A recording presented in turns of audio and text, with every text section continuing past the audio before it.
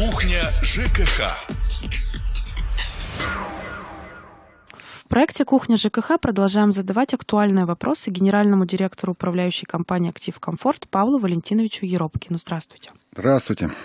Мы уже поднимали тему фонда капитального ремонта, обсуждали его плюсы и минусы. А сегодня хотелось бы поговорить о том, что участились обманные действия со стороны управляющих компаний. Как это проявляется? Ну, да, на самом деле мы с вами уже говорили о фонде капитального ремонта, что он из себя представляет, какие виды работ он должен э, выполнять, какие виды работ выполняются э, данным фондом э, капитального ремонта на коммуникациях, на фасаде, на кровлях.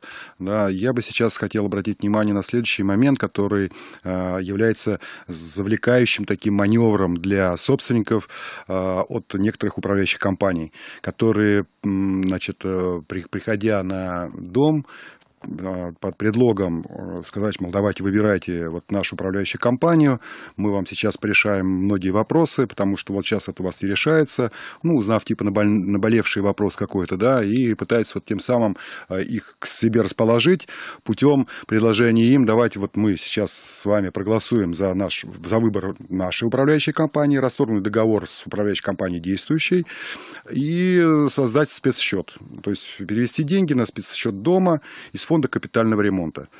А, тем самым мы вам сразу же решим вопрос, например, там, ремонт системы водоотведения или там, горячего водоснабжения, какого-то одного вида работ. Чем это чревато? И мы, как управляющая компания «Актив Комфорт», в принципе, зная и анализируя каждый свой дом, понимаем, что вот таким методом, переводя дома на спецсчет, можно потом в конечном итоге оставить жителей у разбитого корыта через некоторое время.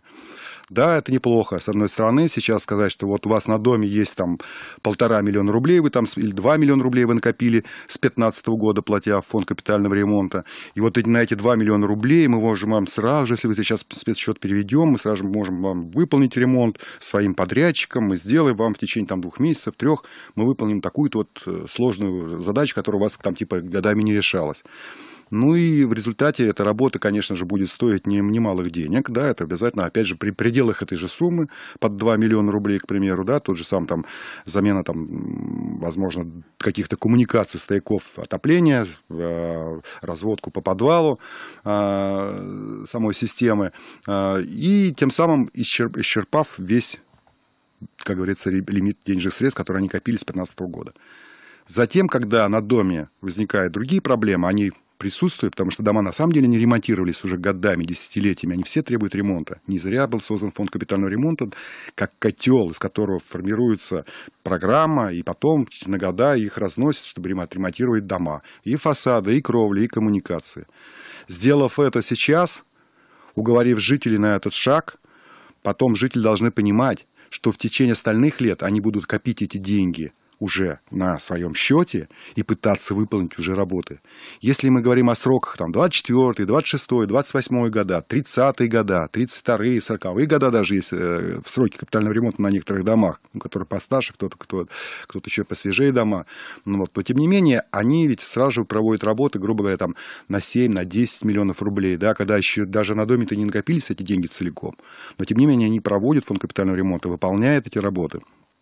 Жителям же придется потом еще лет 15-20, так или иначе, или 30 копить деньги, чтобы выполнить какой-то ремонт, собрав деньги, например, на замену того же самого лифта, который сейчас под 2 миллиона рублей. Мы уже, уже тоже об этом говорили.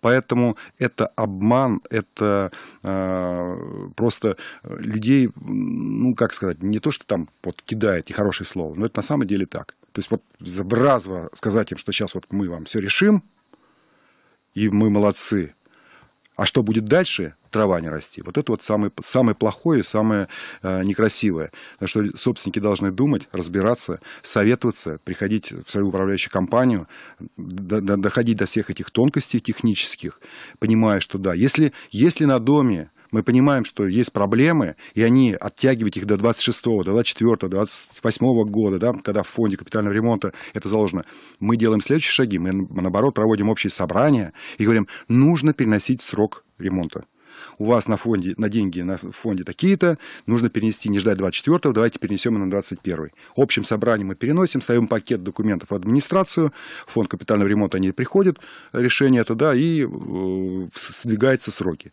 Но Они не выбыли из общей системы, из общего порядка, из общего котла. И так или иначе у них будет продолжать этот процесс.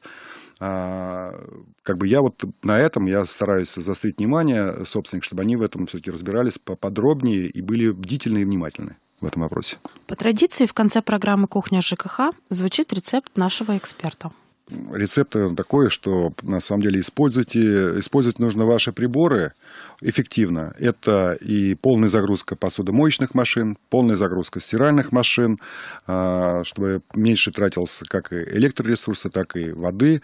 А, естественно, это при использовании разогреве значит, блюд а, в микроволновых печах нужно использовать крышку, закрывая тем самым блюдо, где с, с пищей, чтобы эффект был э, тепловой энергии именно на, сконцентрирован на продукте питания, вот э, эффективность использования, она тоже уменьшает потребление определенных ресурсов, как воды, так и электроэнергии.